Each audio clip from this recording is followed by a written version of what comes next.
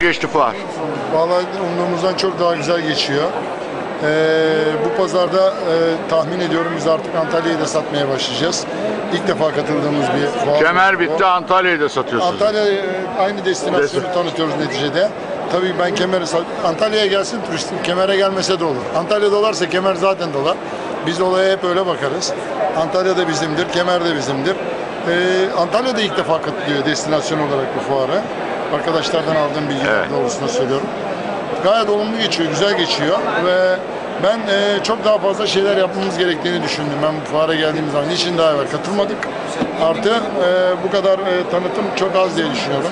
Workshoplar yapılabilirdi, tanıtım geceleri düzenlenebilirdi. Yani yapılacak daha çok şeyler vardı diye düşünüyorum. E,